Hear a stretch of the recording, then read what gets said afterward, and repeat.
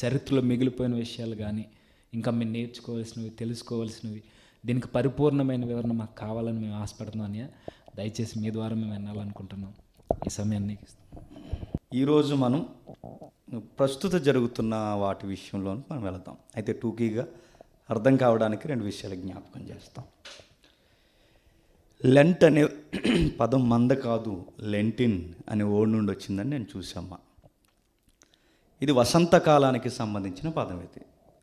వసంతకాలాన్ని ఎందుకు తీసుకున్నారంటే దానికి మూలం కూడా మనం చూసాం తమ్మూజు దేవుడి నుంచి. తన తల్లి ఎవరో మనకు తెలుసు. ఆవిడ పేరు సెమీరామిస్. అనే గుర్తుండిపోయింది సెమీరామిస్. వీళ్ళ ద- ఆవిడ యొక్క భర్త ఎవరో మనకు తెలుసు బైబిల్లో? నిమ్రోతు. ఈ లెంట డేస్లో లెంట్ అనే పదం ఆ లెంటిన్ అనే వర్డ్కి అర్థం వసంతకాలం వసంతకాలంలో తమ్మూజు దేవుడు పునరుద్ధానం జరుగుద్ది.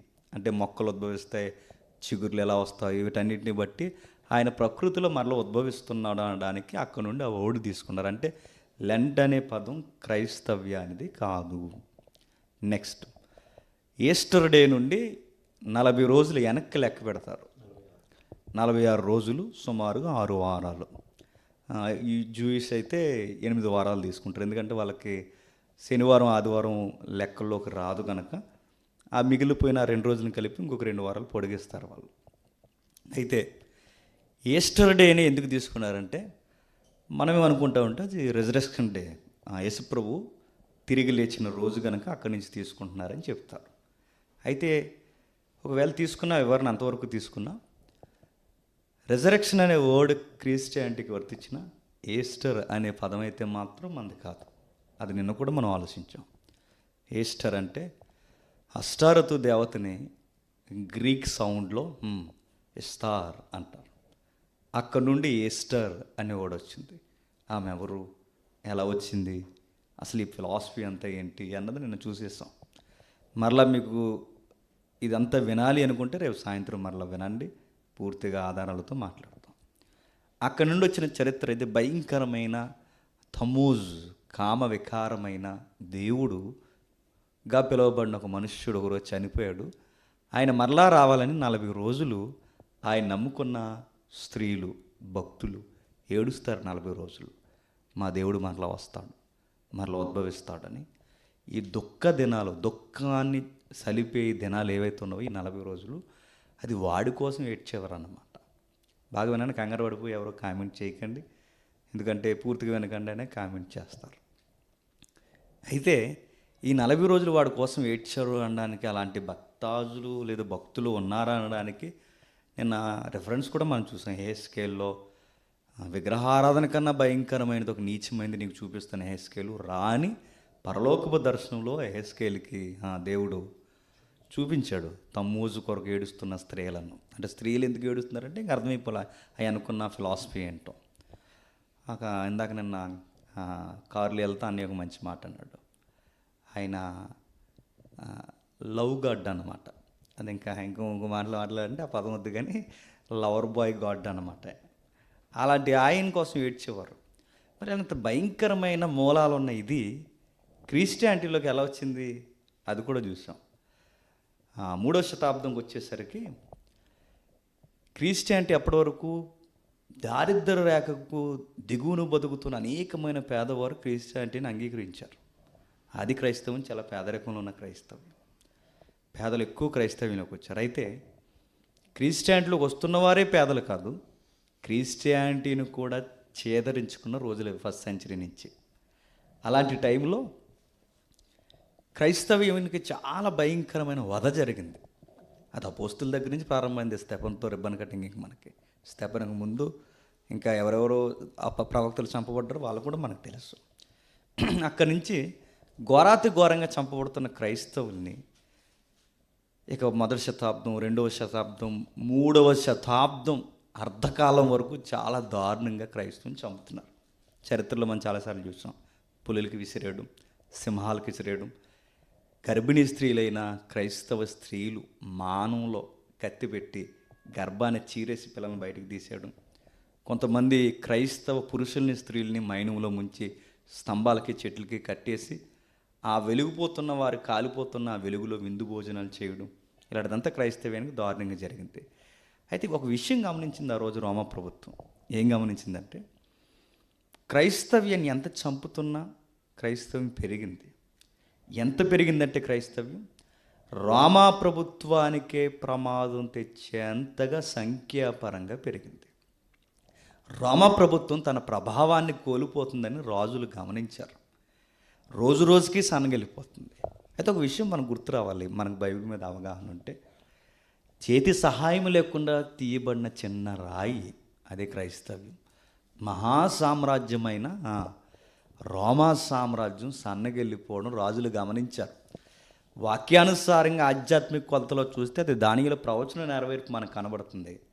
చరిత్రలో మనం చూస్తే ప్రజాస్వామ్య ప్రభుత్వమైన రోమ ప్రభుత్వం కూలిపోయే ప్రమాదం ఉందని రాజు గమనించాడు. ఆ రాజు పేరు ఎవరు మనకు తెలుసు. ఎవరు?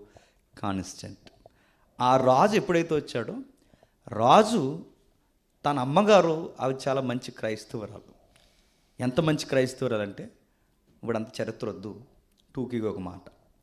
ఆవిడ ఎంత మంచి క్రైస్తవురాలంటే ఆవిడ మారిపోయిన తర్వాత అపోస్తుల యొక్క సమాధులు లేదా అపోస్తుల యొక్క దేహాలు ఎక్కడెక్కడైతే ఉన్నాయో ప్రపంచ దేశాల్లో ఆ దేహాలన్నీ ఆవిడ తీసుకుని వచ్చి వాళ్ళు నివసించిన ప్రాంతాలు వారు పరిచయం చేసిన ప్రాంతాల్లో జ్ఞాపకార్థంగా కొన్ని దేవాలయాలు కట్టించింది. ఎవరు?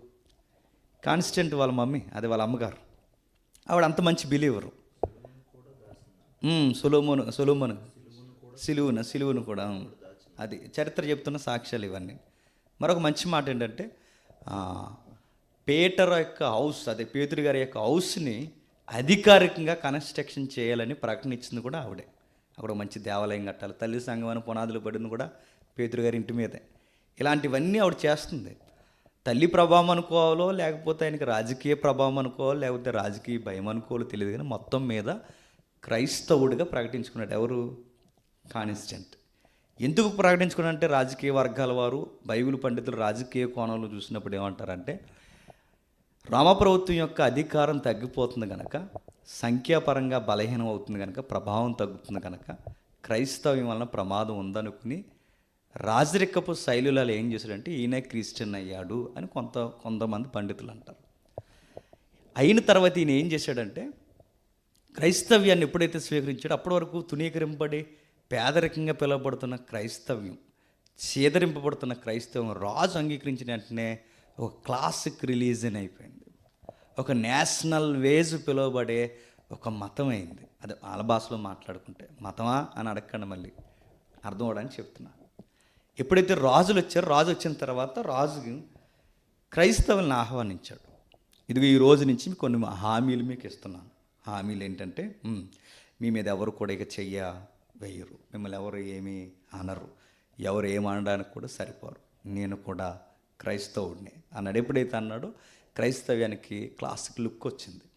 అప్పుడు ఎప్పుడైతే వీళ్ళు ఉన్నారు కదా హెల్డర్స్ సంఘానికి అప్పటికి హెల్డర్స్ పిలవబడుతున్న పెద్దలు ఎవరైతే ఉన్నారో బిషప్స్ ఆర్చ్ బిషప్స్ ఎవరైతే ఉన్నారో వీళ్ళందరినీ పిలుచుకొచ్చి వాళ్ళందరికీ పదవులు ఇచ్చి సింహాసనాల మీద కూర్చోబెట్టాడు. ఎవరు? కానిస్టెంట్ అలా కూర్చోబెట్టిన తర్వాత క్రైస్తవ్యం రాజకీయ పొత్తులు పెట్టుకోవడం నేర్చుకుంది.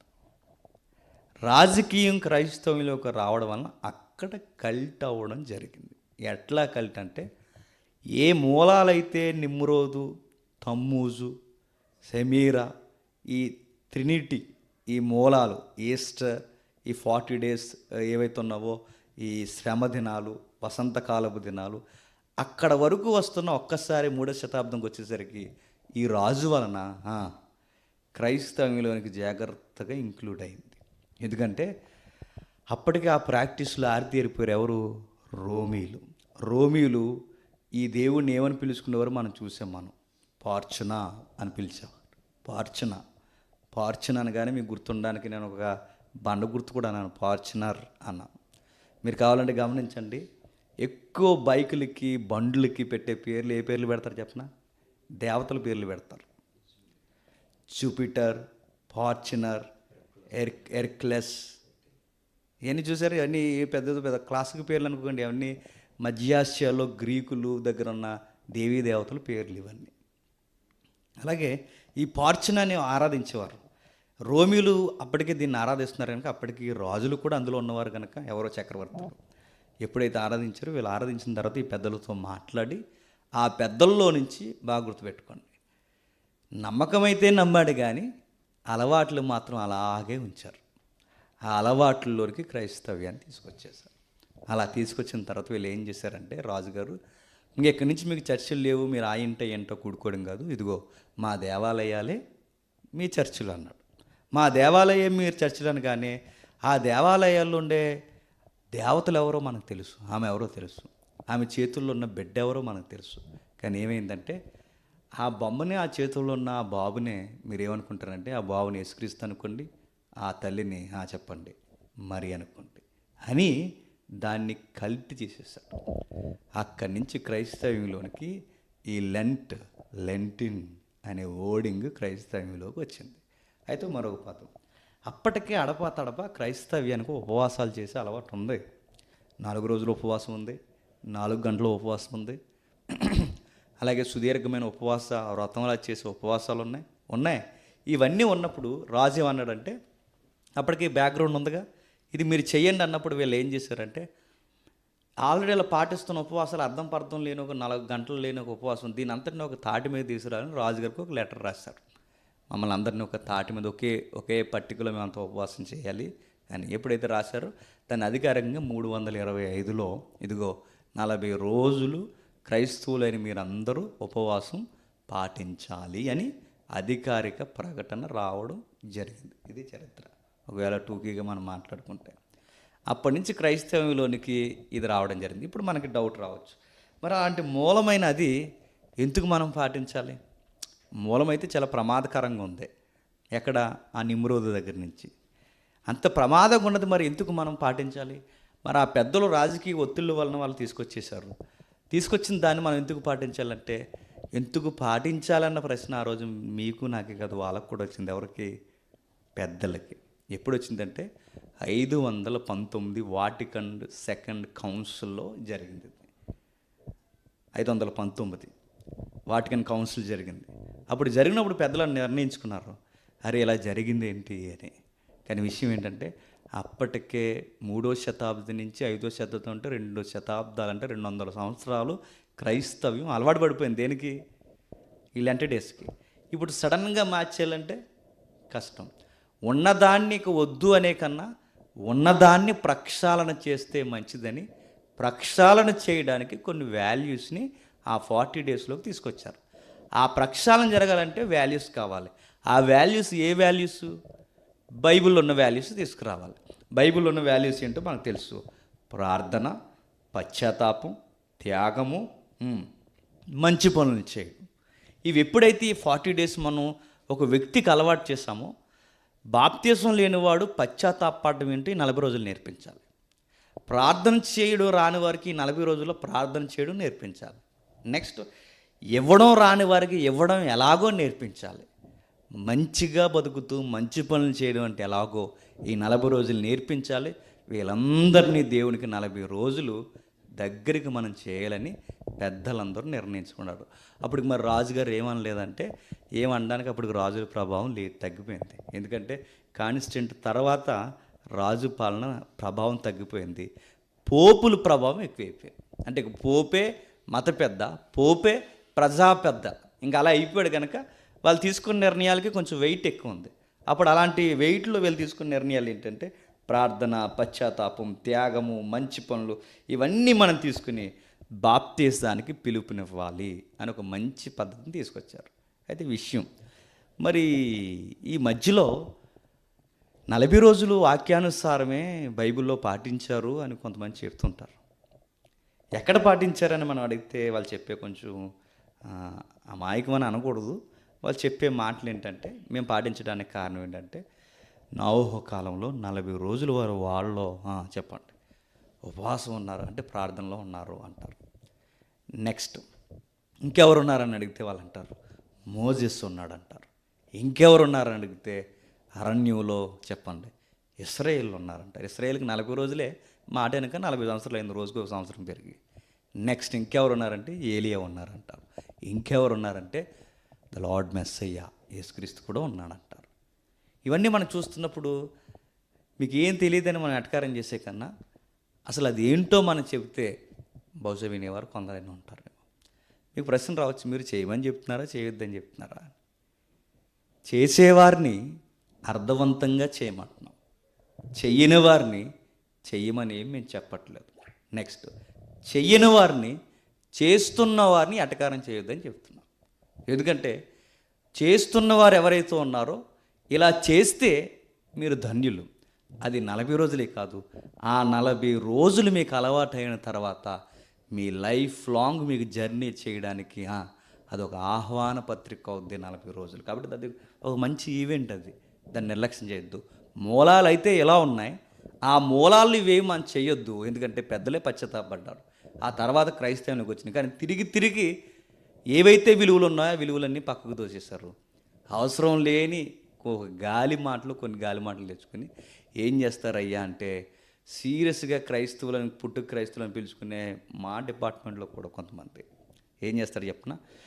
ఒరే ఈ నలభై రోజులు మేము డ్రింక్ చేయమురా అంటారు సీరియస్గా. డ్రింక్ చేయరు. డ్రింక్ అంటే ఏంటి? థమ్స్అప్ కాదు. ఏంటి చెప్పండి వైన్. వైన్ ఎందుకు చేయరు సార్ అని అడిగితే వాళ్ళు అడుగుతారు. నేను నేను అడగను. వాళ్ళు అడిగితే చెప్తారు. ఏమని అడుగుతారంటే ఎందుకు చేయరంటే ఇప్పుడు మాకు లెంట డేస్ రా అంటారు. రంజాన్ చేస్తున్నారు రంజాన్ లాగా చెప్పండి. బయట ఏదో రథాలు జరుగుతున్నారు రథాల్లాగా కార్తీక మాసంలాగా క్రైస్తవం దీన్ని ఎలా చూస్తుందంటే చెప్పండి. ఇది ఒక రథ కార్యక్రమం ఇది ఒక మనకు ఒక టైం అని అన్నట్టు చూస్తున్నారు.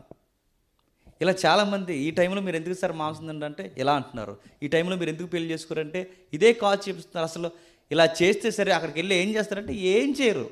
ఒక పూట భోజనం మాస్తారు ఇంతగా ఇది కాదు కదా బైబిల్లో విలువలు కోరుకునేది. ఇది కాదు కదా పెద్దలు ప్రక్షాళన చేయాలనుకున్నది.